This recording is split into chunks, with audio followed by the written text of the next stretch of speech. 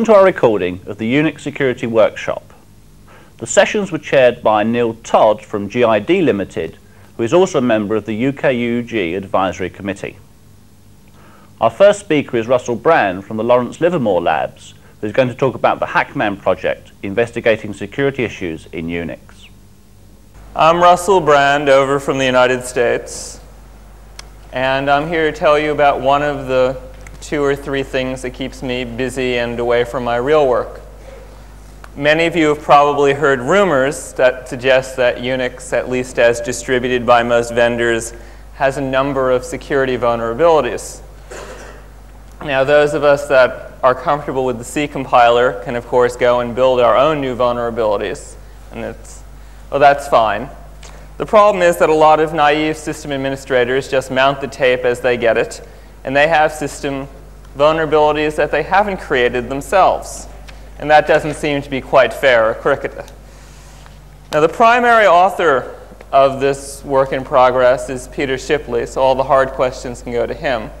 And I'm just here because I have a travel budget and a passport, and he has neither.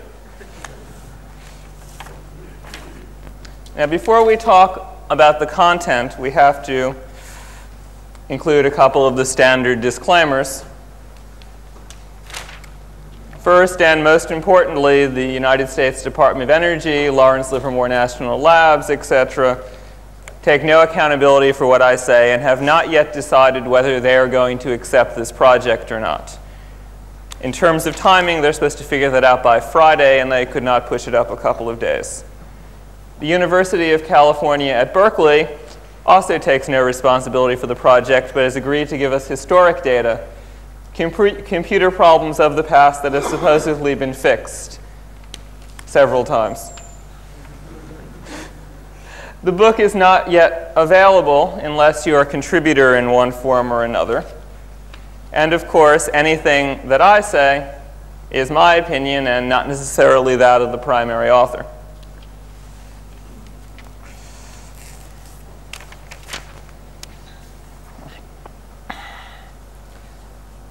Yeah, we put a couple of cautions up when we set up a new Unix system for people that are used to something a, a little more user-oriented and less hacker-friendly, if you will.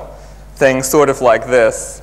With the default distribution tape, we're thinking of putting on another sticker which says, do not run after installing unless someone of great competence goes through it and fixes everything back the way it should be part of the goal of Hackman would be to help the vendors give us a system that people could just install and run and not feel terribly unsafe about.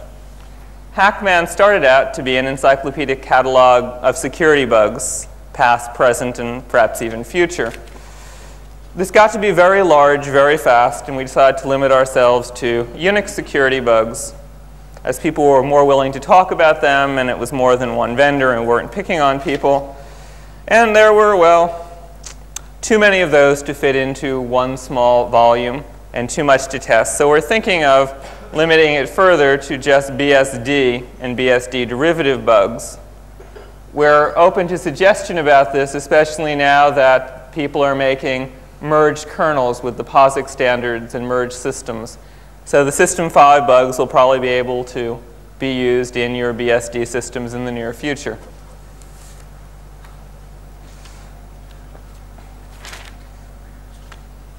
Of course, a book that was just a list gets to be a little dull and it's hard to convince the publishers that people would actually want such a thing. So there's the compulsory other stuff or other fluff, if you prefer, at the beginning and end to turn it into a book.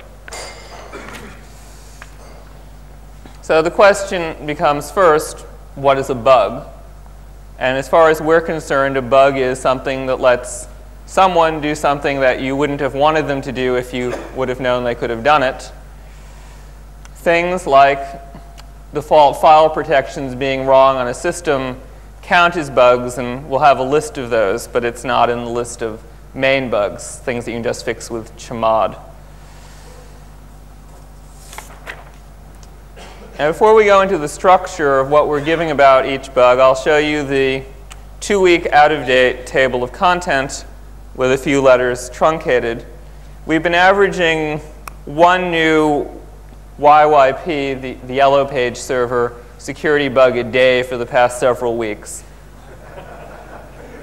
We're thinking that if we were to make a short book, we could just write it on YP, SendMail, and Finger, and perhaps that would keep us busy for a while.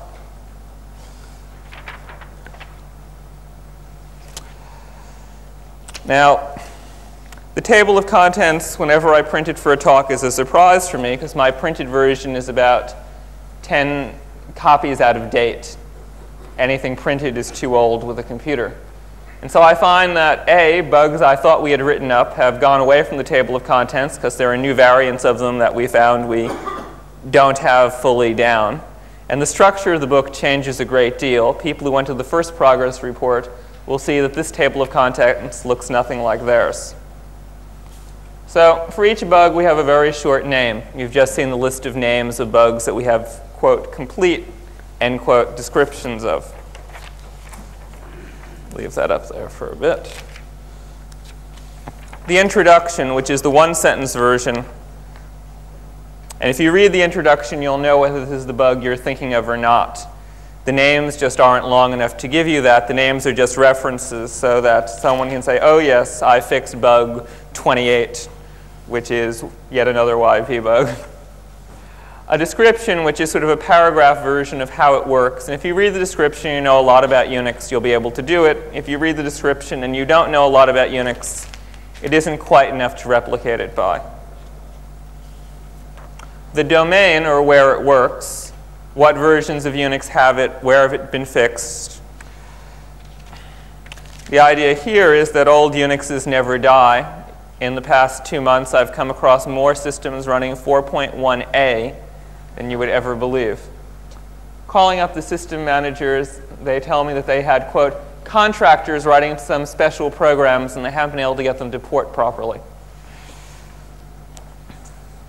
Now, for every bug, there's a reason programs, in a sense, have a belief about their environment, or at least programmers have beliefs about their environment, for those of you that don't believe in artificial intelligence.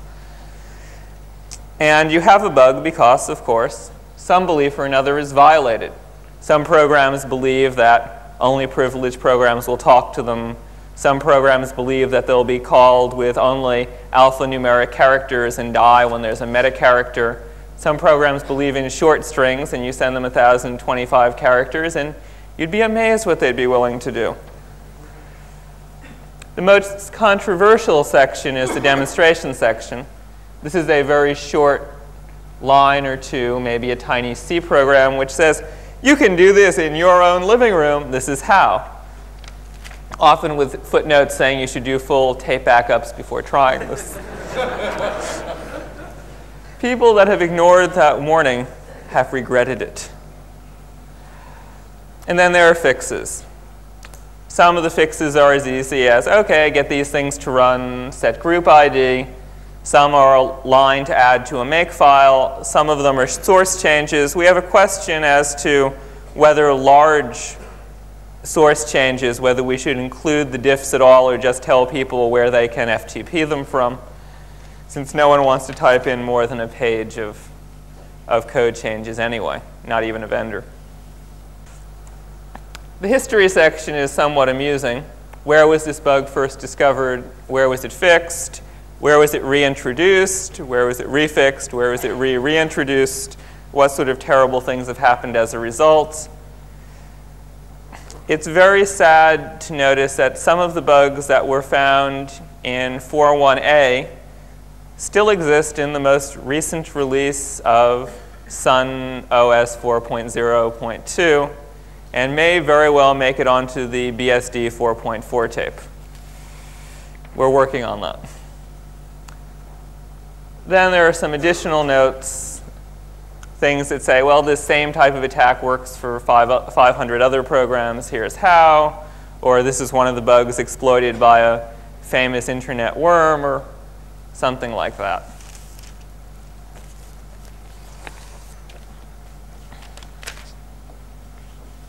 Now, people who are at the last progress re report in Portland, we spoke there about participation, and people who are at the, the ASOP conference, we also spoke about participation there.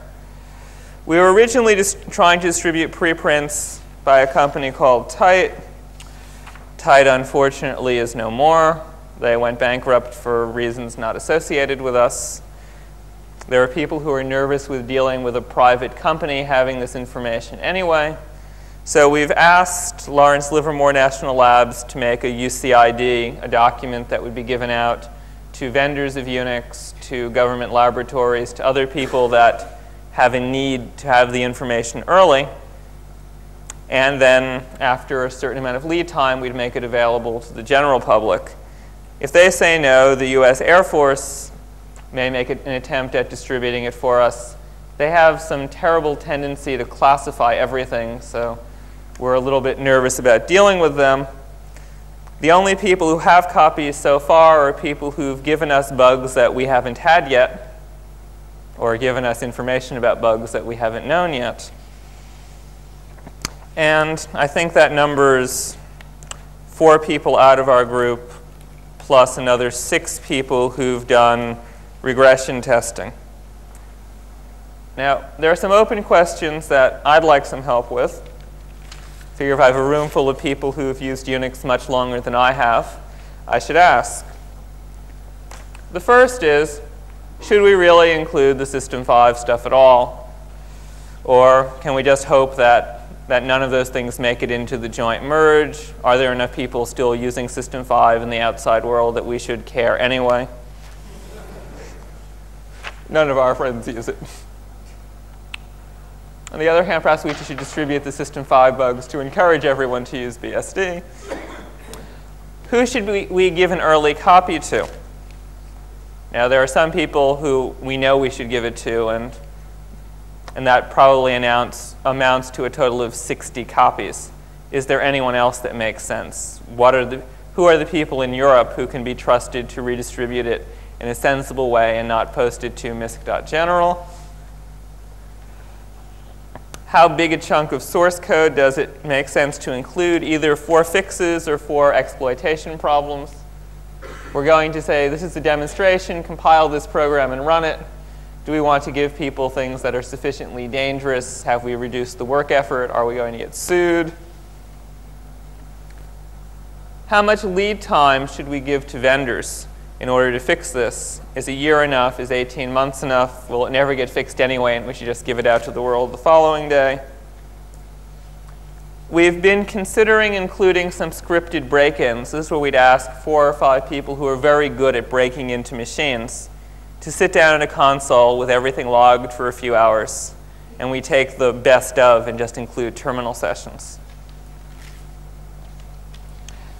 Since we're trying to make a complete list, we're looking for archives, security mailing lists, things we don't know about. If we're going to be the encyclopedia, we don't want to end up being just half of the encyclopedia.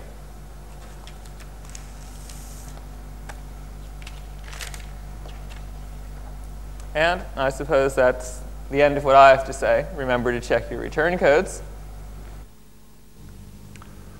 Our second speaker is Lindsay Marshall from Newcastle University, who's going to talk about security and administration within Unix. My main aim is to talk about the principle of least privilege, which is easy to fix.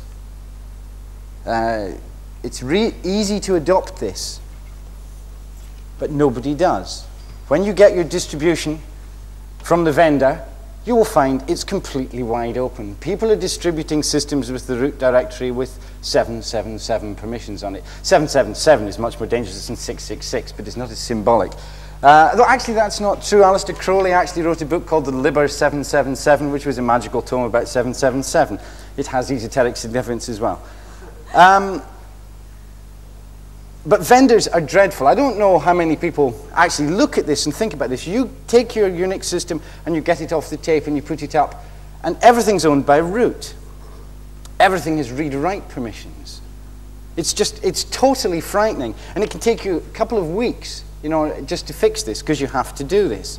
I should also point out, we just put up the latest release of Sun OS, and I don't want to seem to be having a go at Sun here. I am having a go at Sun here. Um, their latest release of OS4 came round, it's still got the sendmail debug in it. This is the latest release that was distributed the last two weeks, and it has still got the sendmail debug bug in it. So uh, that's, that's doesn't show much hope for uh, vendors fixing their bugs.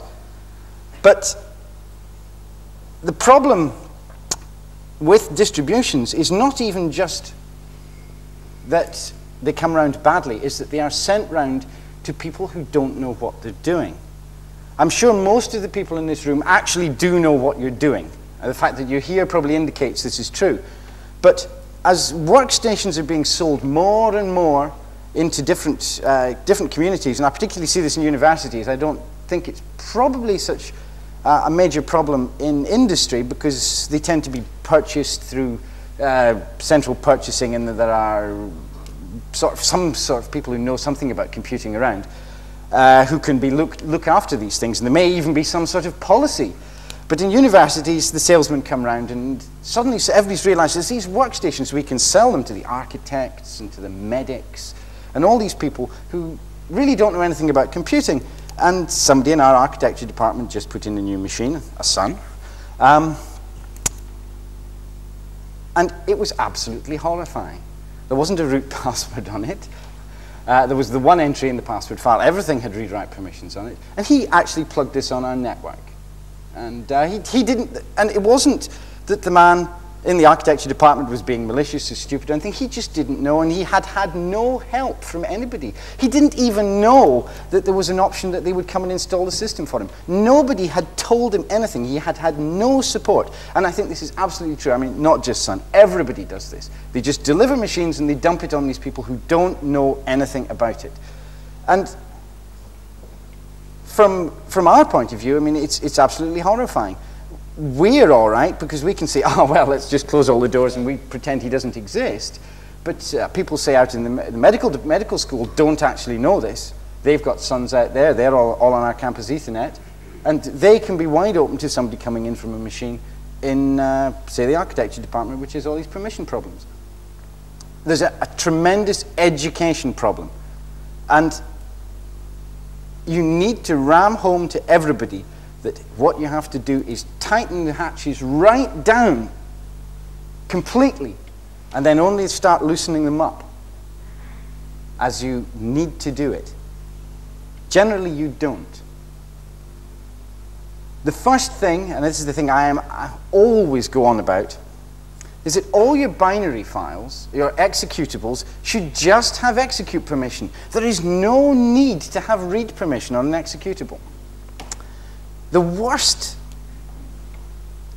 people for this is you look at any script that you get off the net, you get a piece of public domain software and well, and let's not look at the problems that could come in from pulling public domain software in, you've no idea what's going on. One just trusts these things, whether that's sensible or not is, is a good question. But you pull things in, and almost everybody's make files, if they have a make file at all, of course, which is uh, another problem, their install script will always copy it up, and they very carefully either give it read, write, execute, read, execute, read, execute, or read, execute, read, execute, read, execute. Nobody says, why do we need read permission to an executable, executable file? All right, you need read permission to a shell script. That's a different question. You don't need read permission to a binary image. This is even more the case when you have something that you've paid a license for. Some, some of these products like, say, Interleaf, FrameMaker, these sort of things, where there are licensed things.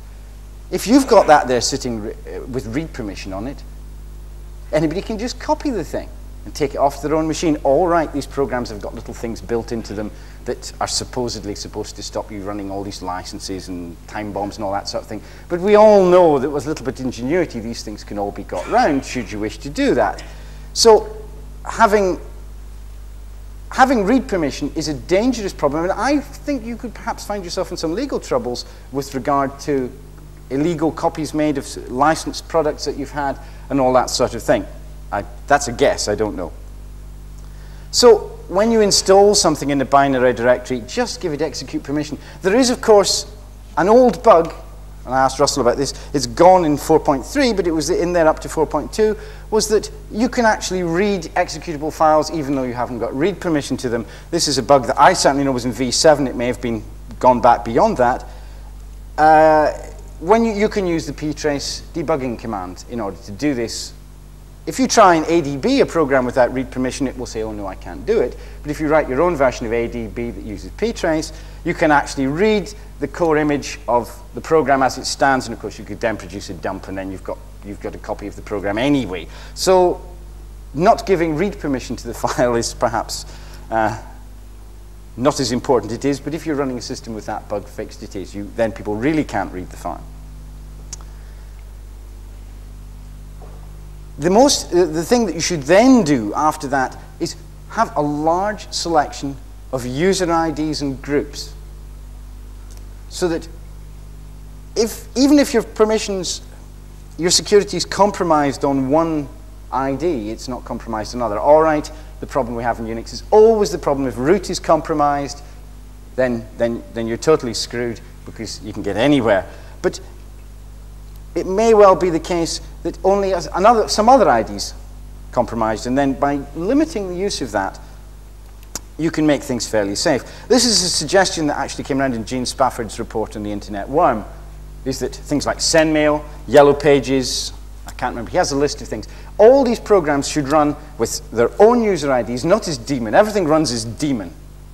You give a, have a sendmail user ID and a sendmail group. You put it in that. Nothing else in there but sendmail. Same thing with Yellow Pages, all these things. You totally encapsulate all these different programs which are known to be dangerous. By doing this, you can then have put firewalls up and you're starting to limit the problems that can come in. One of the main problems that with, with the uh, internet one came around was because SendMail ran as the same user ID as other programs and then you could make, take advantage of cascading holes. By putting this firewall up, some of those holes would have been closed. It's just tidier to have all your binary files owned by bin and your source files owned by source. It's just, just a cleaner way to do things. I could have put up lots of LSs and things like that. I haven't got many, any slides for this because they're very, very boring. I mean, it's just directories and what directories ought to look like. One of the problems that does come is, decide, is to decide which group to put things in. It isn't always easy to decide who should own what. And in fact, you may make mistakes to start with when you do it. I certainly know from my experience of uh, taking 4.2 and 4.3 and fixing the permissions on them, uh, that you often chose the wrong group to put things in. You would, you would say you put something in sys, a sys group, uh, and think, well, maybe that should be in bin, and you don't know. In fact, you need a lot. I mean, sys, I tend to have sort of bin and source and sys, and I, am rapidly coming to the conclusion that other than these things, that like a sendmail, sendmail user and those sort of things, that there should probably be a lib user who owns all the libraries and things like that. Because the advantage of this is that then, of course, you can then split out the administration. I'm looking at this from a system administration point of view, is that the administration will be split up. You can have somebody who is lib and looks after lib, just like at the moment most of us have somebody who looks after news and who's news, and then you have somebody who looks after UUCP. Who is UUCP? It may all be the same person. In fact, it almost inevitably is the same person. But uh, what you should be doing is providing a long hat rack with all these little hats on it. And in fact, I, I actually have a, a belief that we should change SU. I can't actually see any use for being root most of the time. Even, I mean, I do this too, everybody does this.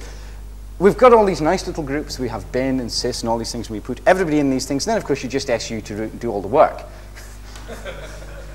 because it's a hassle. What we should actually do is have an SU that forces you to say, which hat are you putting on today?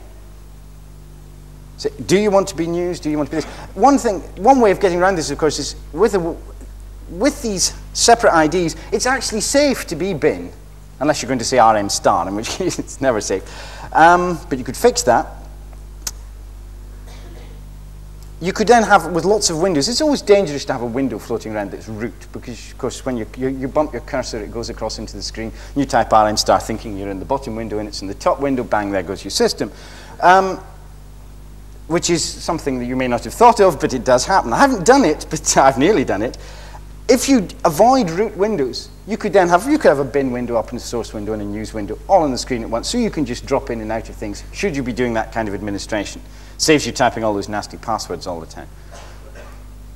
That's actually another thing. When you do an SU, you can, uh, in your root, you can SU to any user you like. I'm not actually sure that that's particularly safe. Uh, perhaps you ought to know the passwords. There's something strange about, there's something very strange about Unix permissions, actually. It, it needs, they stole the, the, original DEC model of having three things, but DEC extended it with this system thing, and I have a feeling that you should be able to protect your files from the system as well. But we have to live with what we've got. So uh, I don't think we can change that. There is another problem, of course, with all this business about ownerships and things, is that the chown program lives in different directories on different systems. Of course, it's privileged, but that's perfectly sensible because you wouldn't want to be able to change the ownership. It also doesn't have a convenient way of setting both the owner and the group easily. You can do it, I think you say chown, well, it's probably number comma number. It's one of these horrible Unix programs that doesn't really work properly with names. This is another little hobby horse of mine that I should ride here, which is that everybody, anybody who says chmod 666 or 777 or 555 ought to be taken out and strung up. It's not something you should be doing. You should say A plus RX. Who are you to know that the implementation of the kernel uses 777? It might not do that. It's a convention. It's much simpler to say, spell it out, say A plus RX. Because then you, you can look at this and think, you don't think, you think, what does 666 mean? What does 555 mean? What on earth is the bit you set to put set group ID permission on, set user ID? You can never remember. You always go away and check. I can never remember what those numbers mean. You always go away and check. At least I hope you always go away and check. the, so, but I, you see, I don't have a problem because I can say U plus S, and I know that I've set user ID on. If I say plus T, I know I've put the sticky bit on. That sort of thing. It's important to use the slightly higher level interface. Let's get away from using this 777 thing. So when you see people with install 711 and all that sort of stuff, well, you all ought to send them hate mail and say, fix your make files. Uh, I think that's an important thing. And chown has this similar problem that uh, you want to be able to say, change this ownership of this file so that it's owned by this user and this group.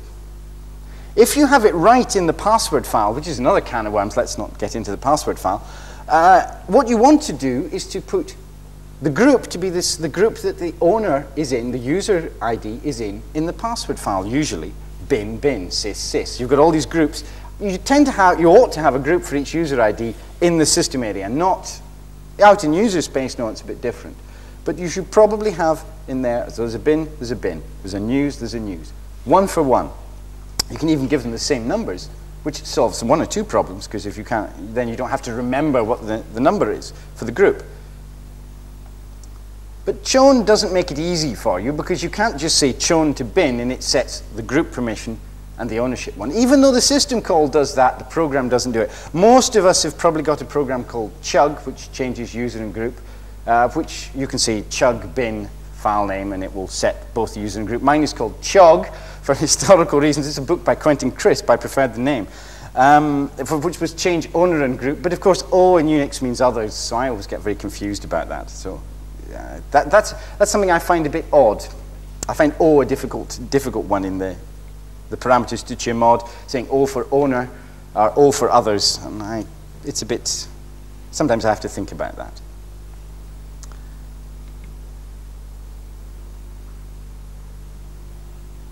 The, having set up your password file with all these bins and things like this, and sys and source, and then thrown away all the things that you don't think should be on the system anyway, that's a good thing to do because it cleans up your disk having decided things like whether people should have actually be able to do a PS and things like that. There's some interesting security questions actually about whether people should be able to do PS, whether they should be able to do who, for example. Uh, I'm not even sure it's legal to do who in this country. I have a strong suspicion that I remember years ago when the EMAS system was being developed at Edinburgh that they didn't have a who command in because there was some British telecom regulation which didn't let you transmit that sort of information down a wire. Uh, and I remember being told that. I don't know if it's true though. So, uh, that, so I'm not sure that who commands are actually legal. There are definite security problems about that. When you've set up all these things, the next thing is, of course, you've got to go through the whole file system, making sure all the files have the right permissions on them. And you need a tool to do this. There isn't actually a good one that does this. Writing the find script to do this is not easy. This is something that we will probably produce from my project because it's aimed at producing tools for, of this nature to help system managers. And we probably will produce a tool that will actually go around and search for anomalies, which is files owned by people other than who should be owned under this directory tree. So you can nominate certain parts of the directory tree. For example, in the user group, the directory called Lindsay, everything below that ought to be owned by Lindsay, and if it isn't, well, something's funny going on, it probably means I was logged in as root and did a CD to my own directory and created a file. I do that often enough. And then you can't delete them and things like that. So that you should look for these anomalies. You should also look for set UIDs. There's quite a good script that I hope you all are running every night which looks, goes around looking for set UID programs. It will find the set UID scripts and will tell you when they, they change. So that you have a list of ones that you know about, and when it changes, it will tell you straight away. You could also do things like checksumming critical files. None of this takes, I mean, given all the CPU cycles we've got on these, none of us know what to do with on all these ridiculously fast machines. We, um, particularly at night when nobody's in, uh, you could actually go around checksumming critical resources and have a file which had these things in it. Make it difficult for the hacker. Have the information in so many different places that they don't know where they all are, and they have to change so many different things that it's not worth their effort. Anybody can break security. I mean, this business of producing, uh, you, know, you see, the, every year they get a new credit card, and it becomes more and more complicated. What they're trying to do, it's not that you can't forge anything. You can forge anything.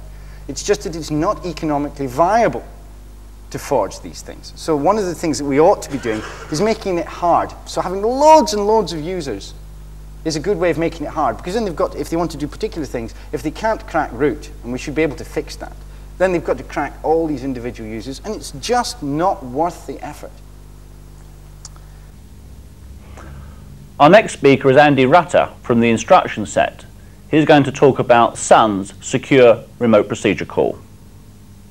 Okay, what I'm going to talk about today is the secure RPC system that's part of the Sun ONC, Open Network Compu Computing, um, aka NFS.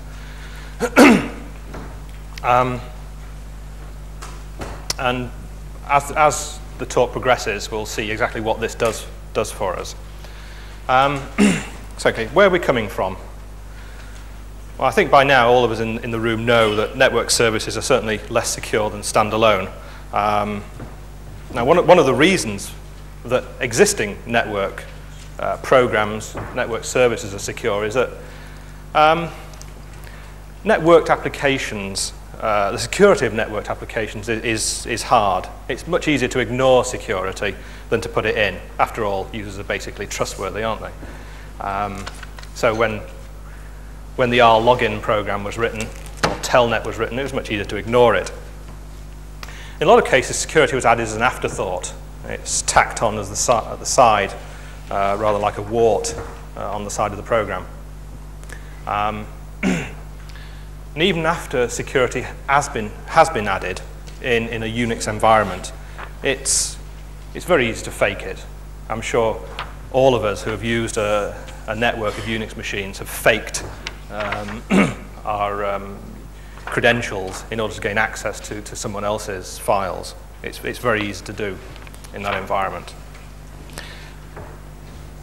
okay. one, of, one of the solutions to security is, is to leave it up to the application. Again, it's, the problem with that is it's much easier to ignore it. If you leave it up to the application developer to put the security in, the application developer wants an easy time, so they leave it out. Um, if the application developer does successfully put it in, it's usually implemented in a very ad hoc manner. Um, much wheel reinvention takes place as the security features uh, are implemented in the application. So it goes without saying, it's much better to put it in as a, as a service. Consistency uh, in the security is, is much easier to achieve if the, the application developer can't ignore it. Uh, it comes with the, um, the application environment. Okay, and the one I'm going to talk about today is at the RPC level. Okay. the authentication is done on a RPC request response basis. Uh, what secure RPC doesn't do for you is encrypt the data. So if you're really worried about people spying on your data, um, secure RPC won't, won't help you. The assumptions that Sun made in developing the, the methodology is that on the networks they use, it's not possible to replace packets. So here we're talking about broadcast style networks rather than um, a, a, a ring style network where you can steal packets and replace them. Eavesdroppers are not really a worry. Okay, so you're not, you're not worried about people looking at your data. You're just worried about um, users impersonating you, adding packets to the network to, to fake requests or indeed fake responses. Right. Um, I, don't, I don't think I need to explain what RPC is. Um, I, I, really wanted to look at how um, the request response is, is authenticated. Um, with, with SunRPC, the, the client sends, you know, ignore the request part and, and the, the arguments. The client sends some credentials and a verifier to the server, and the server responds with a verifier. Okay, this, is, this is necessary so that the server can be sure it's talking to the, the correct client and vice versa. Okay. Um, with the RPC shipped from Sun prior to secure RPC, then there was no, there was no verifier. The, the Unix style authentication had, had a null verifier, so that when the, the server responded, there was no way for the client to be sure that this was the correct server, so it's possible to impersonate. Okay. So this is the problem that Secure RPC is addressing, the problem of verification of both ends uh, of the conversation. now, how's it done? Well, there's unfortunately a, a, fault in this slide, um, so don't pay too much attention to it. Um, the, the, way the re request and response is authenticated is through timestamps. Uh, the timestamps are encrypted so that the, the server will decrypt the timestamp, examine it, and if it's within the correct range, um, then the, the request is, is valid. The encryption is done using public and private keys. I'll talk more about that uh, on the next slide. Um, public and private keys are um, fairly secure, but not, not completely secure. Um, I know of several people who can crack DES um, within a, a, reasonable space of time.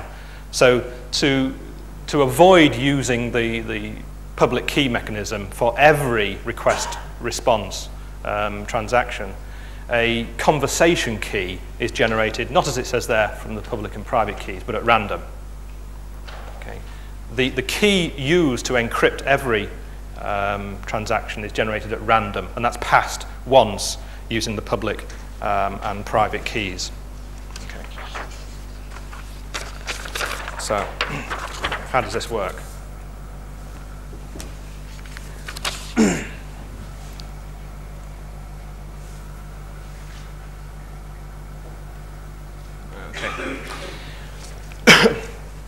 In the, the very first transaction, the very first request from the client to the server, as credential, the client sends um, some, some ID identifying the client, usually it's name, um, a, a, domain name for the, for the client. It sends the conversation key, they're called CK, encrypted using the, the public key mechanism. And it also sends um, a window value okay, for the timestamps. Okay, the, the server will look at timestamps that the client sends and use the window to determine whether or not the timestamp is valid. Okay. So it sends three pieces of information. Client identifier, conversation key, encrypted using the public key, and the window value encrypted using the, the conversation key in the credential field. As verifier, we send the current time and we send uh, the window value plus one. Okay. Uh, using times uh, relies on the client and server being synchronized. If the client doesn't have a, a real-time clock or, or, a reliable clock, then it can get the time value from the server. Um, the client and server will get out of step. The, time values will drift. Uh, th this just means that eventually the client-generated time value will get outside the window, and at that point the server will reject the request, and they just resynchronize again. Okay. The reason for sending the window value here and then window value plus 1 is to um, avoid faking the, uh, the verifier by someone just generating those fields at random. Okay. It's possible to reproduce a valid credential by filling in those three fields with random numbers, and eventually you'll get one that decrypts properly, if you do it often enough. But by sending win plus one, the chances of getting a valid decryption by random uh, field generation is, is reduced. In the response, the server sends um, the time value minus one, encrypted using the conversation key, and it sends an ID. Okay. Because we're using this randomly generated key for the RPC transactions, the server needs to hold the conversation key.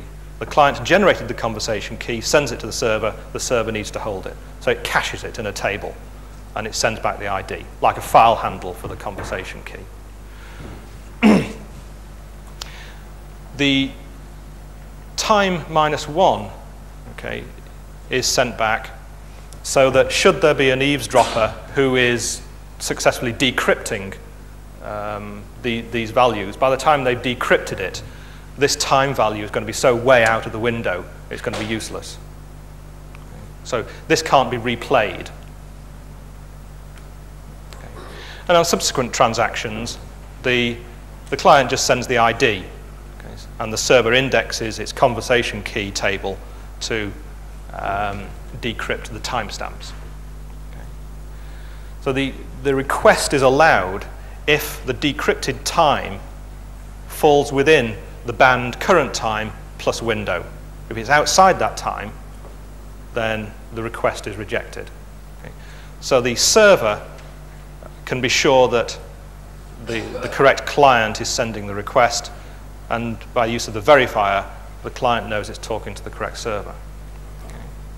So the basic mechanism is encryption of timestamps inside a window. Now, very quickly, I'll go through the mechanism for uh, generating the, the public and the, the encryption value from the public and private keys. Um, this is only used once uh, because it is less secure than a randomly generated key. The client here, A, has a public key which is stored in a publicly readable database. Uh, and it has a secret key which only the client knows. Okay. And the relationship between the public and the secret keys is that the public key is some well-known constant raised to the power of the secret key. And the same happens for the, the server. So the server has a secret key and has a public key in a database.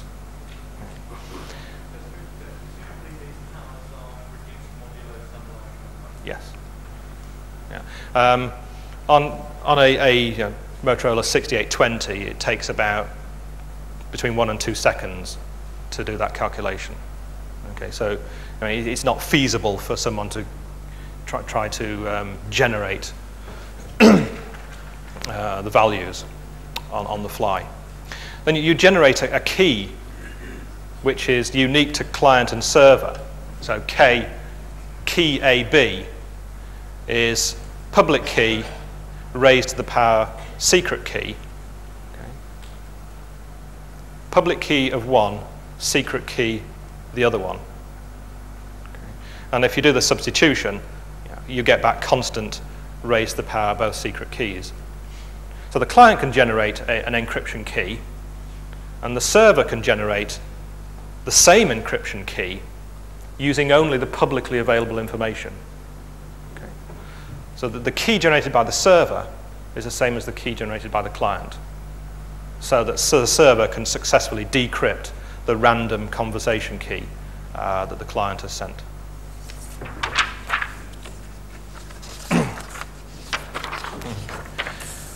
now, okay. In terms of um, the, the implementation, um, there, there, are some considerations we have to look at. First of all, there's the, uh, the naming conventions. Um, the, the server, uh, so the client must be, must be able to identify itself to the server so that the, the server can retrieve the public key for the client. So we need a, a global naming scheme.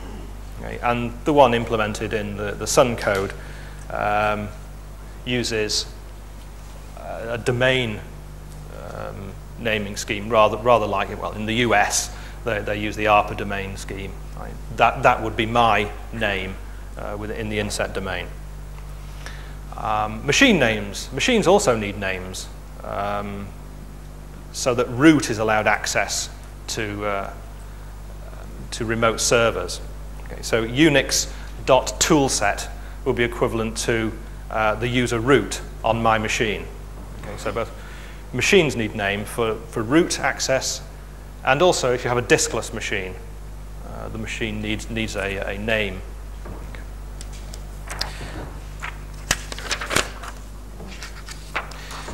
The, the source that's available now, um, called NFS Source 4.0, um, contains a secure implementation of YP and a secure implementation of NFS using the RPC mechanism. The, the keys um, are held in a local key server RPC service. So each machine has a local daemon that holds all of the keys for users on that machine. And it accepts RPC requests for storage uh, and retrieval of, of, keys. And those are the three the, um, procedures. Um, only the user root can send uh, requests to the key server to avoid normal users coming along and trying to replay or um, cr crack the keys. What is important for the code we get in here outside US is there's no DES in there, but there are so many different implementations of DES, it doesn't really matter.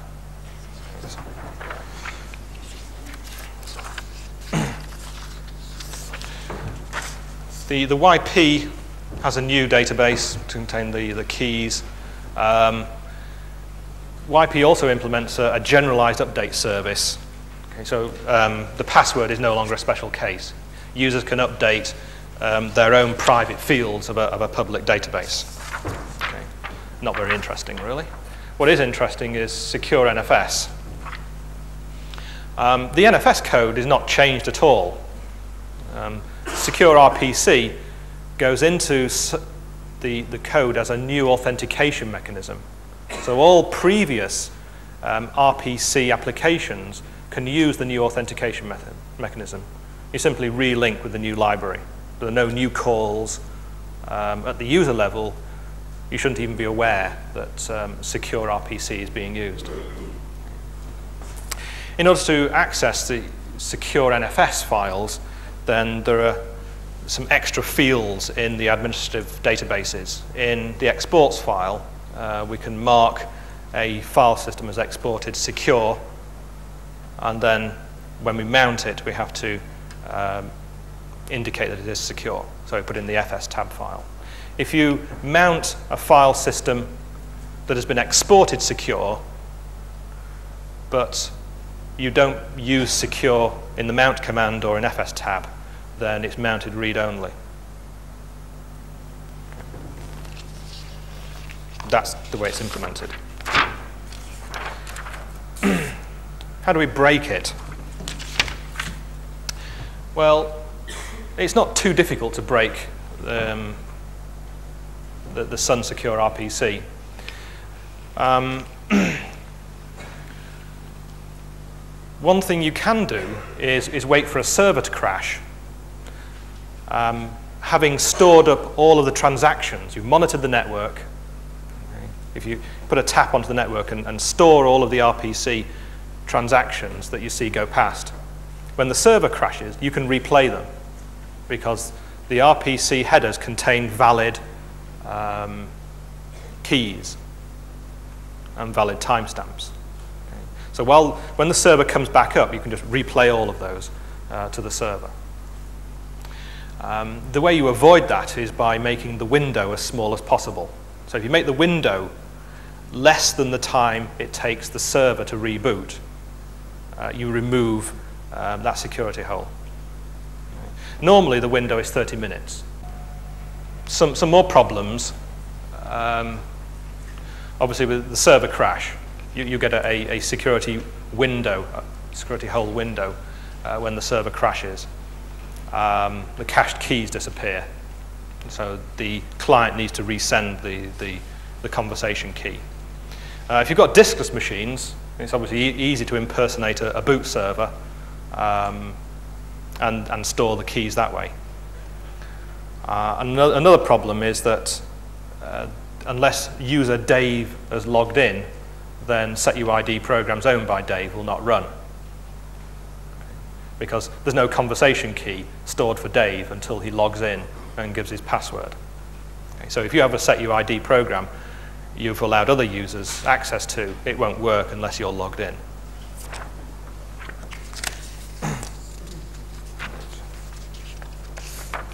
Okay. Now, the, the aim of Secure RPC was to make a client server setup as, as secure as a normal standalone system. The, the aim wasn't to make it super secure, uh, but just to claim back some of the security that was given to you by, by a single Unix machine. Um, and that's been achieved with low overhead per transaction. There are holes with it. Okay. Uh, it's possible to eavesdrop, it's possible to look at the data, but then as I said before, uh, on my home directory, anyone can read the files and I don't mind. So if that is your environment, Secure RPC will be suitable.